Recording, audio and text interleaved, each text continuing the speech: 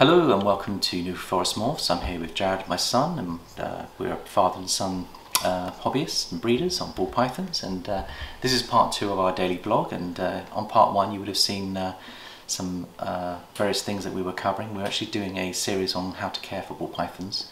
And go back and have a look at part one if you want to um, catch up with us, and then come on to this part two.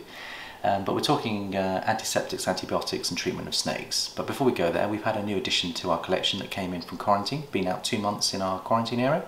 She came to us cold and um, we were disappointed with the way in which that was couriered over from Europe.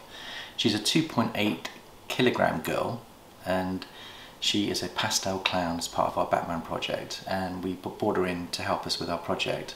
So obviously Jared and I were gutted when she came in cold, weren't we Jared? So let's go and have a look at her. What, what did you do before you brought her in last night? There's two things that motivated us to bring her in. One of them was the fact that she'd eaten last week, so it shows us that despite going through a very cold period, she was back on food. The second thing was that um, Jared and I were looking at the ambient temperature in the house, and it wasn't as good as in here. So you thought best to bring her in, didn't you, Jad? Yeah, she'll be happier in here. Yeah, because the ambient temperature. And she had passed all the tests, like her poos were fine, yeah. She was clean, no clean. mites, no, RI. So everything looked clean. So we brought her in. Just to be precautious, we've got a whole rack and a half ready for um, grow-ons, but aren't actually in at the moment. So we've put her in the middle range where the temperatures tend to be um, pretty constant. And we've also keeping her away from our other snakes just in case, because you know she could show an outbreak or something could happen uh, later. So it just keeps that extra little bit of cushion of comfort for us. Um, but do you want to have a look at her? We won't take her out because she's only been there one night, but we'll just let you have a peek sneak preview.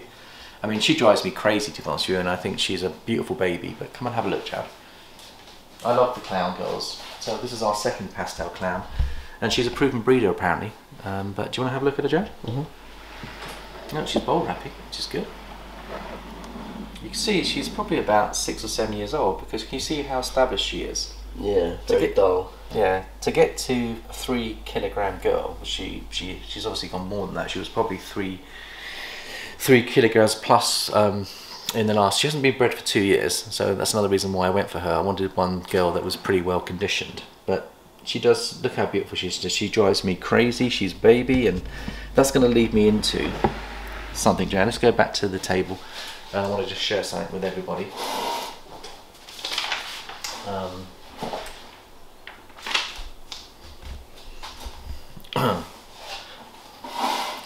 so anyway, that snake, when I first saw her, it made me feel like, goodness gracious, great balls of fire! Da-na-na-na, da-na-na-na. Goodness gracious, great balls of fire!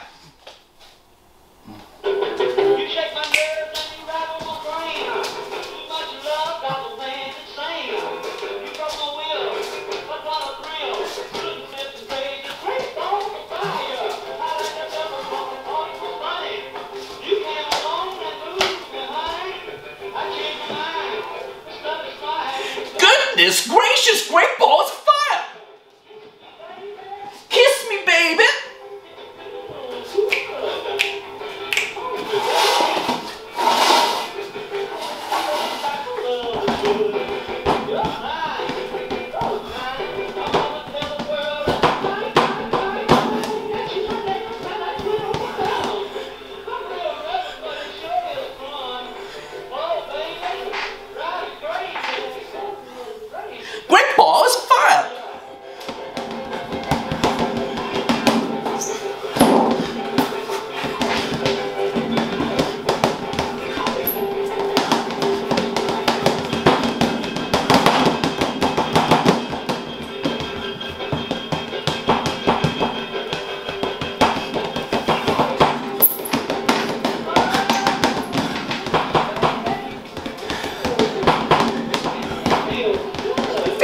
balls oh, oh,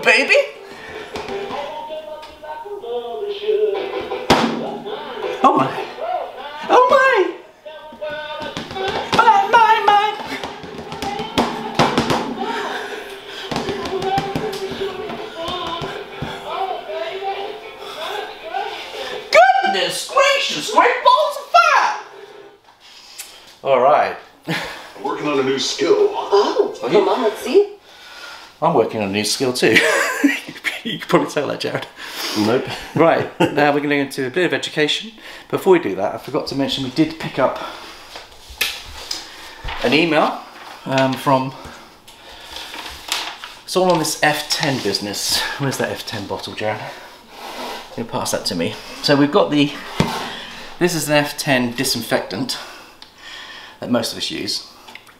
And then I found out yesterday from a, a subscriber or viewer that there's another F10 which is an antiseptic which we've ordered and it's coming this afternoon. So we're going to do a test and see how it goes.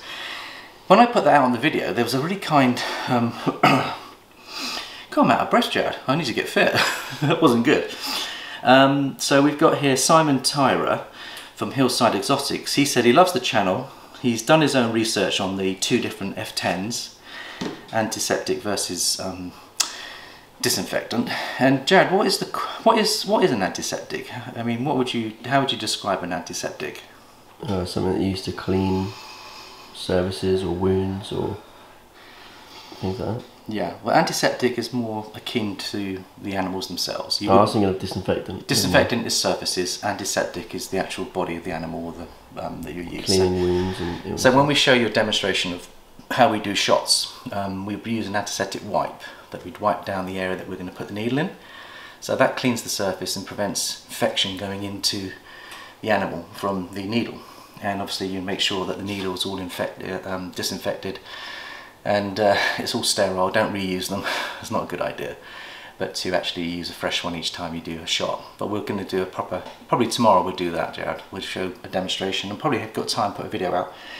So substances are covered by antiseptics, or not substances, um, animals, but disinfectants are covered by the um, sterilisation of instruments and tables, Jared. That's what they do amongst the surgeons, top surgeons. Now both contain an agent which is called biocide. Okay. The difference is the antiseptics have a much lower concentration of that agent. That's the difference. So your gut instincts yesterday was that you thought that this company was just rebranding it and it's the same substance. And I thought, well, let's find out. And one of our viewers very kindly has shed some light on this. He sent us a copy of an email that was from Sue at F10 team. And this is what she said. She said the F10 antiseptic solution is a product that is licensed for treatment under the SAES in the UK.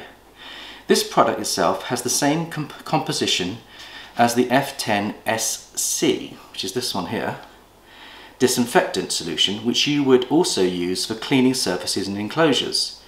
The products are effectively interchangeable, except for the fact that the F10 antiseptic, when it comes, I'll show you, has different labelling and is licensed for veterinary treatment. It is this protection of a treatment license that makes it the veterinarian product of choice for using for treatment of respiratory conditions and so forth, and is advised for use rather than the F10SC disinfectant. However, in places where the F10 antiseptic solution is not available in the US, for example, or treatment licenses are not needed, then the use of F10SC disinfectant for treatment is not a problem. So your instincts, Jared, couldn't have been more correct. As long as that email is legit, and as long as Sue's legit, and I don't, I don't really know Simon that well, but I'm, I know his heart, which tells me he loves our channel and he's trying to help us. So I, I, I, the Jedi forces are telling me to trust his judgment. But having said that, we're going to still do the experiment, aren't we, Jared? We're going to try the new, you know, we just spent it. Now, on top of that, Solent, Solent Royals, thank you for your comment. He made the comment. He said F10 a, uh, antiseptic might be a pre-mixed solution. So check the ratios before you do the um, nebulization. Yeah, the one you were showing on the video was a pre-mixed solution. And what did you go? I've gone for a concentrated one. So this one here is concentrated. Okay. Yeah, and I've gone for the same style, but in the And why, uh, why, did, why did you do that, Jared? because uh, it's more cost effective, and also you can choose exactly how much you want to put in there, Excellent rather answer. than a pre-mixed. You're on the same wave, wavelength as Solent Royals. Yeah. Do you know what? This is another reason why I love Jared because he's so ahead of me. you know, if I, I wouldn't have seen seen this coming at all, which Jared has, and that's been confirmed by Solent Ro- Royals. So I think Jared, you, the force is strong with you. The force is strong. Um, also, I just want to say a quick thank you to Colin, James, and Kirk. And I do apologise for anyone that missed the live premiering of um, Wayne's video because last night it was about 11 o'clock by the time I'd finished the thumbnails and uploads and things and I thought I'll get it out there. And I thought I'll put it on a premiership. And it said do you want to go premiership now? And I thought yeah get it out there let people enjoy it. And what I forgot to realise is that with a premiership you normally give people notice that it's coming. So my apologies mainly to Wayne because it's so rude of me not to have actually um, told him that we were premiering that night. And I know he still had time I know he was still trying to catch up on the other two videos. So but um, my apologies Wayne. I hope that um, that you're okay with that but uh, we'll make sure that the next parts will be premiered with notice. It's likely to be tonight so there's some extra footage and you'll enjoy it. We, we have a, a good laugh plenty of giggles and jokes and a special character features in there as well so please do feel free to come and join us.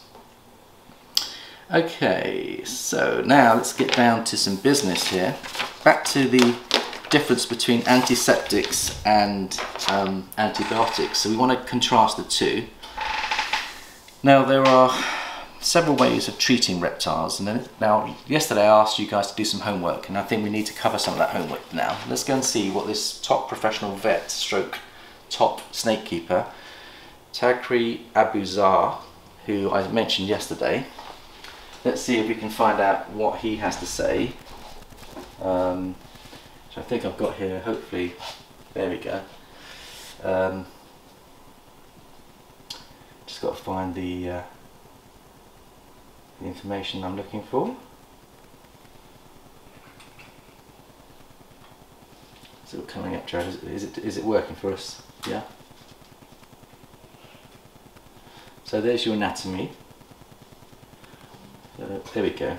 So we've got nebulization. Now this is what's this this now? This is um oh that's a bit more on F10. We won't cover that.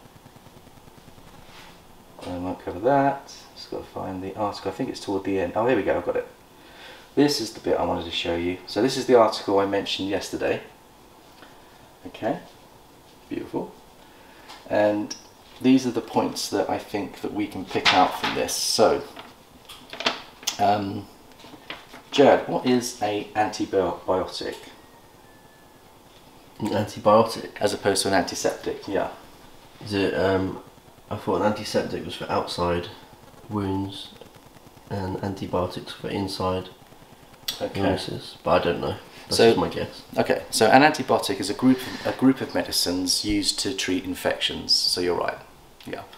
And it's all, they're also known as antibacterials and anti and antibiotics. And there are one, two, three, four, five different ways of um, administering. You've got um, mouth, mouth in the mouth, liquids, tablets, capsules, and shots. That's coming off this article here. So I'm picking all this out of the article. Now the web page is uh, GW Exotics is the web page to go have a look for yourself. If you have, if you missed yesterday's filming, go back to yesterday's filming. You'll see it on there. So what they do is, Jared, what's the purpose of the antibiotics? What's their, what do they actually do? Fight off infections. Yeah, they fight off infections. Do they kill the infection? I'm not sure. Well, this is the this is the fallacy. See, what antibiotics do? They kill the bacteria and they are not they don't actually kill the virus or the fungi itself because the infection can come from a virus or a fungi or from bacteria yeah which is a type of bacteria anyway so they kill the bacteria but they don't actually kill the virus okay but the so for, we can give do an example here so rule number one in antibiotics according to this writer here and I'll see if I can find his rules on here he does give us rules um, let's see if I can find it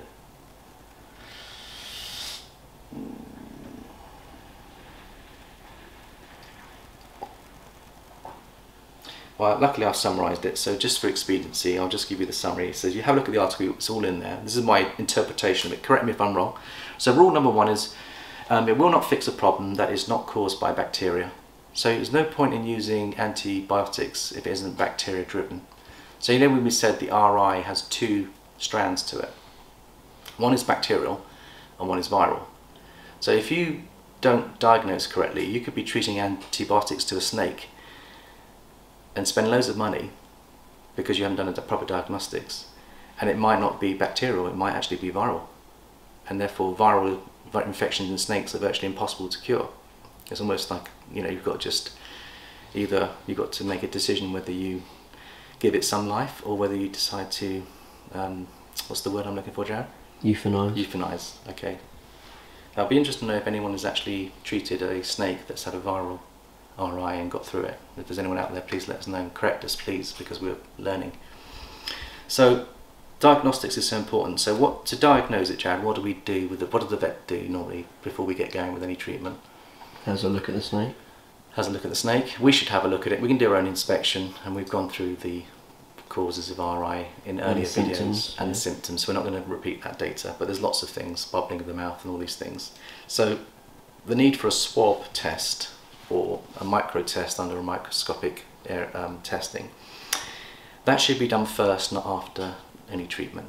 And why do you think the swab test should be done before rather than after the treatment?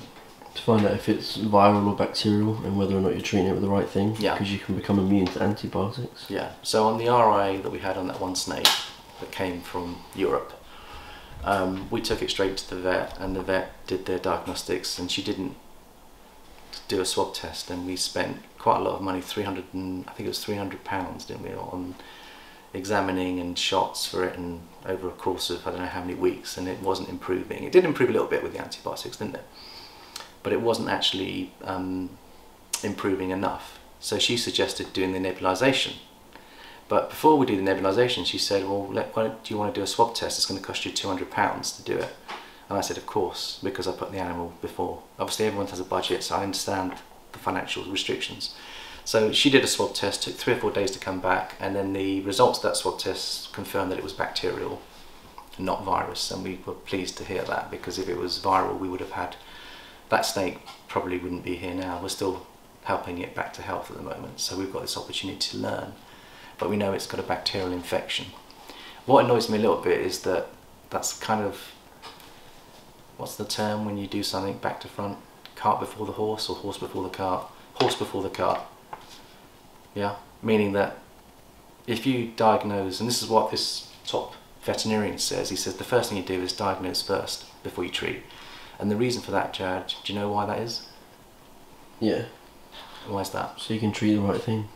treat the right thing. But not only that, if you do the test results coming from a swab test after you've already treated it, can be masked by the earlier treatment, and you don't get the proper results. Does that make sense? hmm Yeah. Okay, so the best way normally to deal with an infection, um, I'll show you a video by Triple B, um, Brian Brian Cusco. Cusco.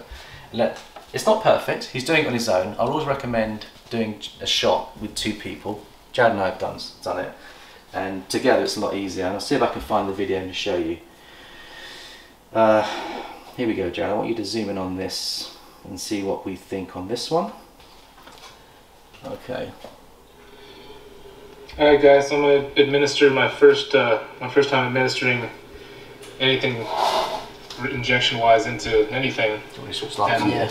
person. As you can see, she's still got some some bubbling there on her mouth. And sorry, this is just a cell phone video, and it's yeah, you see that right there. Still some bubbles going on. Um, but it's only been a few days since her first antibiotics, so I know that you want to inject into the upper third of the body, and you want to go just maybe a quarter inch or so away from the spine into the muscle. This isn't something you want to inject into the bloodstream, it goes into the muscle. It's a ceftazidime. It's a broad spectrum antibiotic. And um, hopefully, this will take care of whatever's ailing her, whatever kind of virus or bacteria she's got. And um, and we can be done. We'll get the results back from the lab later this week, and uh, we'll find out for sure. And hopefully that means hopefully it'll say that we're giving her the right stuff here, and we just keep on giving it until she gets completely better. And uh, hopefully that's the case. But so the needle here, you can see. I'll let her back away for a second. See if I can focus on this needle with this cell phone. So you can see there's a hollow point on the needle, of course, and the, the part that is open is kind of at a slant, and you want that to be facing up, away from the body of the snake when you put it in. That's what the doctor told me. Okay. Alright. Here we go. Come on over here, baby.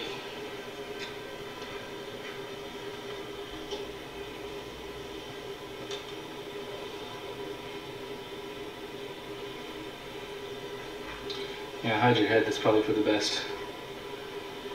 So you want to go in between the scales.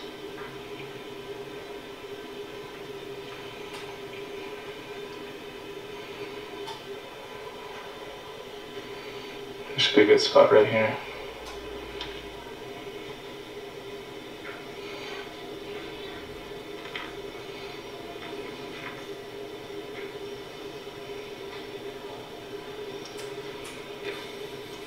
Sorry, baby.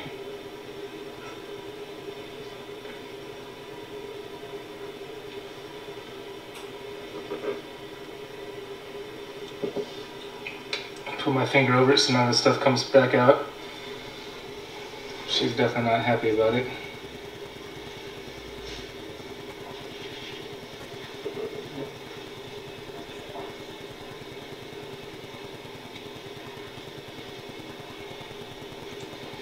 Okay, uh, medicine's in. Really sorry about that, sweetheart. Hopefully she gets better. Alright, guys. Okay, I thought that was um, very, very interesting. And thank you very much, Brian, for sharing that with us because for most of us that haven't done it, I'm not saying that's perfect, that's probably his first attempt at it. I love him because he's so transparent, like the other Brian. And uh, we can contrast that with now an oral um, way of putting antibiotics into an animal. But there was a kind of a lot of things. Did you learn anything new from what Brian was teaching us that we haven't done, Jad?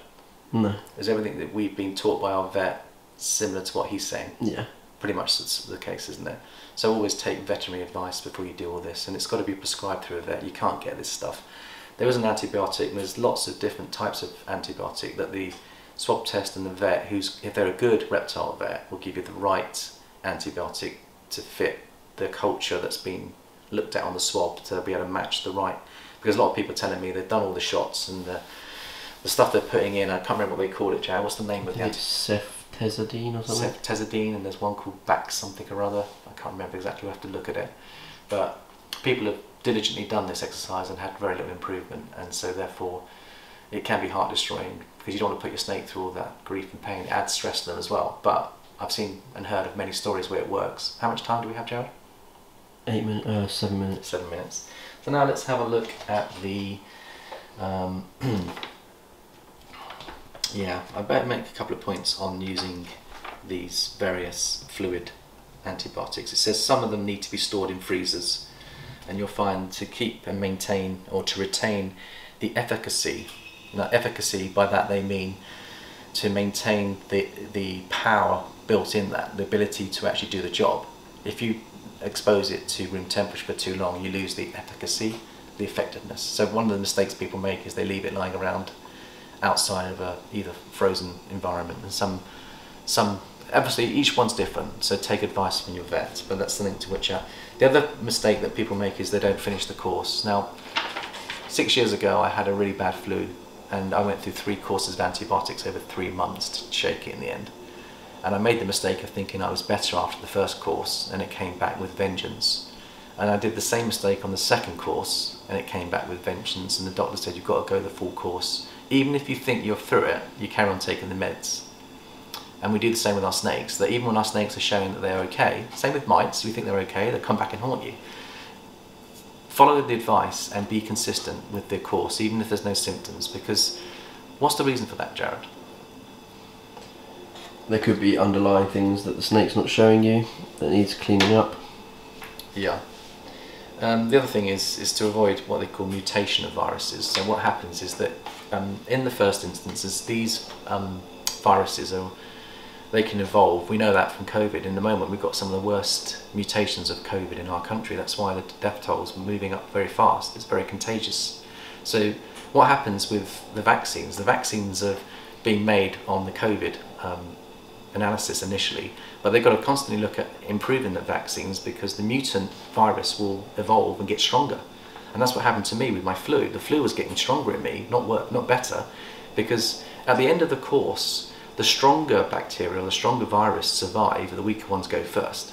So even the viruses have strengths and weaknesses, so the weak ones get taken out first. But it's the stronger ones are left toward the end where we think everything's fine.